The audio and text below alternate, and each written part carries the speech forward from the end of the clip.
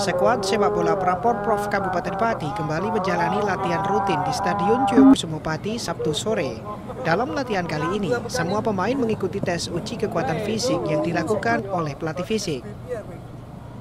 Pelatih fisik sekuat sepak bola Prapor Prof Kabupaten Pati Ahmad Badawi mengatakan beberapa uji ketahanan fisik di antaranya lari 60 meter, standing squat jump, kelincahan, dan brief test atau daya tahan tubuh.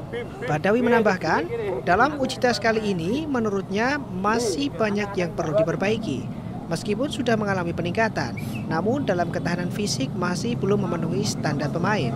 Untuk perkembangan anak-anak cukup bagus ya. Mungkin untuk ke depannya ini sebagai patokan buat apa namanya buat program untuk meningkatkan ke yang lebih baik lagi. Harapannya ke depannya semoga anak-anak bisa mengikuti program latihan dengan baik dan apa namanya terus serius dalam latihan supaya meningkat di setiap harinya ketika latihan. Ya.